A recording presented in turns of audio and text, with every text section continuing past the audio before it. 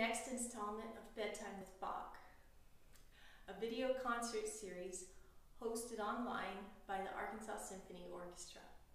My name is Linnaea Brophy, and I joined the Arkansas Symphony Orchestra in September of 2019. I play with the Rockefeller String Quartet, one of two string quartets affiliated with the Arkansas Symphony Orchestra. In this video today, I will be playing the last movement from the Sonata Number no. 2 for solo violin by Paul Hindemith. Hindemith wrote this piece in 1924, and according to his writings, he wrote it while he was riding on the train from Hanover to Frankfurt.